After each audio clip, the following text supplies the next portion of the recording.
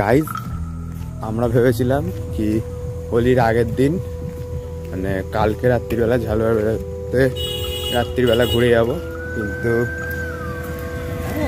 সেইটা আমরা করতে পারিনি, কারণ অনেক কাজ ছিল।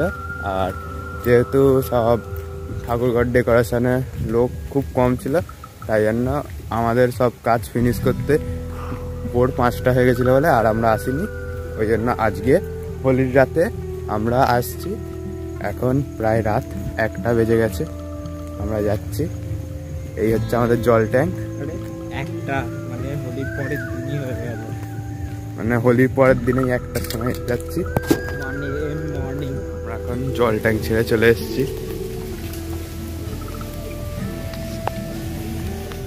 আমরা এখন সেই জায়গাটা ছেড়ে একটুখানি মাঠের দিকে চলে এসেছি।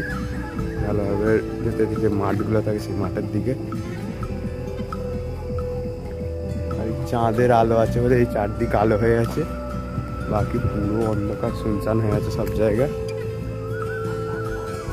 আমরা এখন প্রায় পোলের কাছে চলে এসেছি।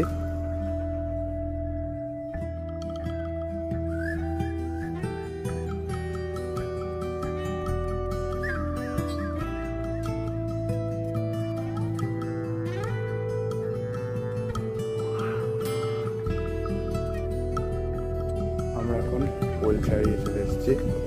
সব জায়গা পুরো অন্ধকার হয়ে আছে।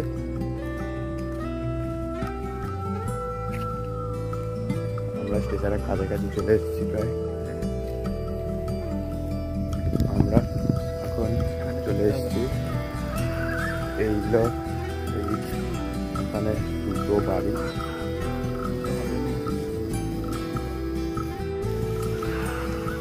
বিরামনগর স্টেশনের লাইট জ্বলছে। ব্যবসা গেছি দুটোর সময়। এখন প্রায় একটা পঞ্চাশ হয়ে গেছে বলে আমরা দুটো বলছি। চলে এসছি এখন স্টেশনেতে এই হচ্ছে আমাদের সেই ঝালবাড়ি স্টেশন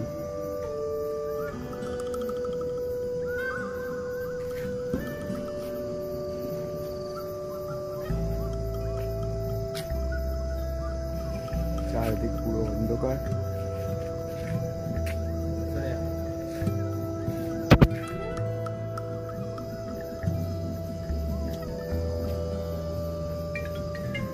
আমরা এখন স্টেশন থেকে বাড়ি ফিরছি। বাড়ির দিকে যাচ্ছি। আর কিছুটা গেলে পোল, ওই যে। ওইখানে হচ্ছে পোলের কাছে যে অসত্য গাছটা আছে, সেই গাছটা আর একটু গেলে পোল, এই হচ্ছে খাটাল।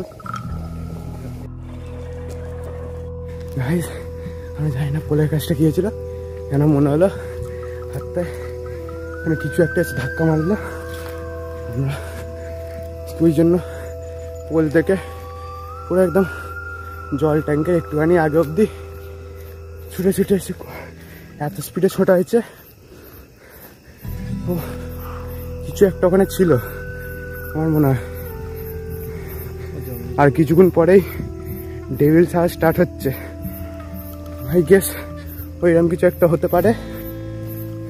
আমরা আমি জল ট্যাঙ্কে প্রায় কাছাকাছি পৌঁছে গেছি। আমরা ভিডিওটা এখানে এন্ড করছি। কারণ এখন যা কন্ডিশন আমরা বুঝতে পারছি, মনে হয় তাড়াতাড়ি যত তাড়াতাড়ি বাড়ি ঢুকতে পারব, ততই ভালো। আর ভিডিওটা ভালো লাগলে প্লিজ লাইক সাবস্ক্রাইব কমেন্ট আর শেয়ার করে দেবেন